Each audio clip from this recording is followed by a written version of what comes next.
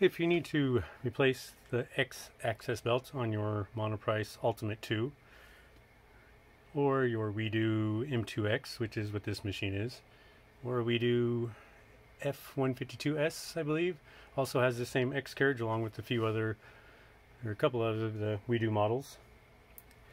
It uses, but the Monoprice Ultimate 2 uses the same X carriage um, as it's manufactured um, by WEEDO for Monoprice.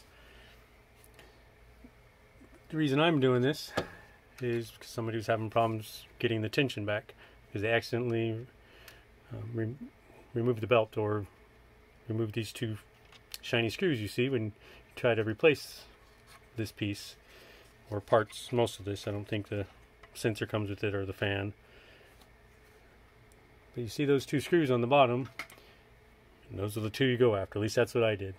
Knowing probably that's what was going to happen but if I were to be doing it myself I probably would have went for the same thing and not knowing.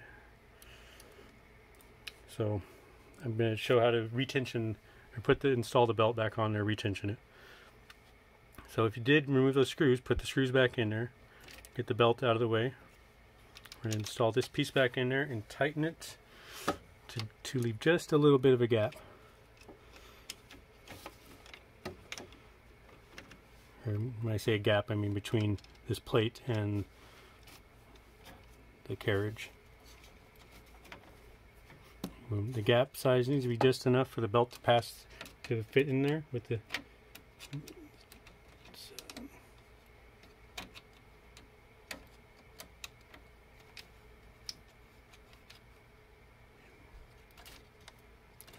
probably a little too much but too much is fine I'm going to start on this side actually go over this part first I want to put the belt so it lines up or so it overlaps as close as even as possible.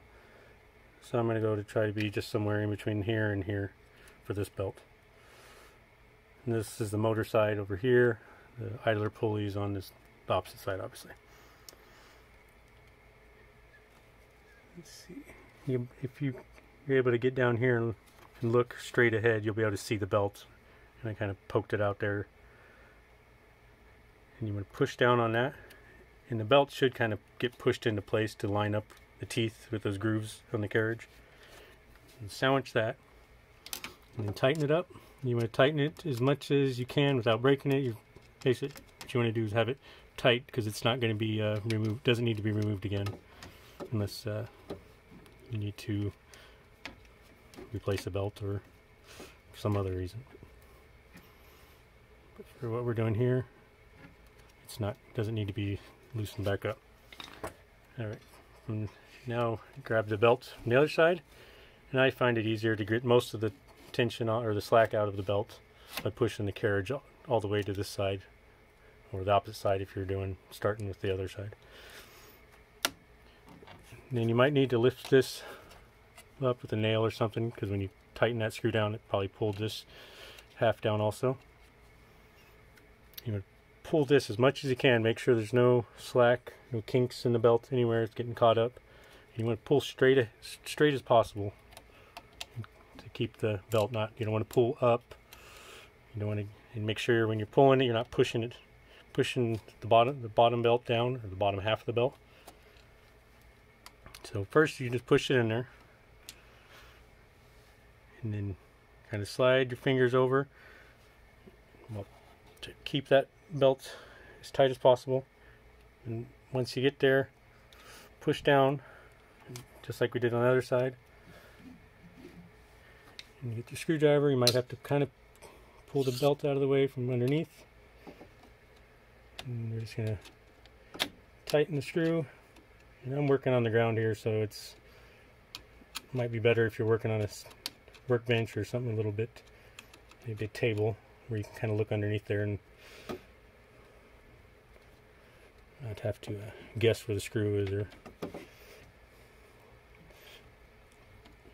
There we go. Just make sure before you loosen or you release that with your one hand that it's, it is tight. And it's good enough. It might take a couple times to do it to get enough um, tension. Um, as there's no tensioning springs on here of any sort, on there's no adjustments on the motor side unless you want to release the mounting screws. I don't recommend doing that. Um, there's no uh, adjustment on the tension for the tension belt tension on the pulley. So the pulley kind of pulls out. Some do, but uh, this machine does not. Um, this is going to be the only way to do it, and I believe that's how the factories, the factory installed it is similar to how I shown. I'm sure they're a little more experienced and do a lot quicker. And maybe they even have a little tool that helps them uh, do it so their hands aren't getting in the way as much. And the rest of it, just hopefully you remembered how everything else goes. There's only a few screws to put the assembly back on. Um, so that's pretty straightforward.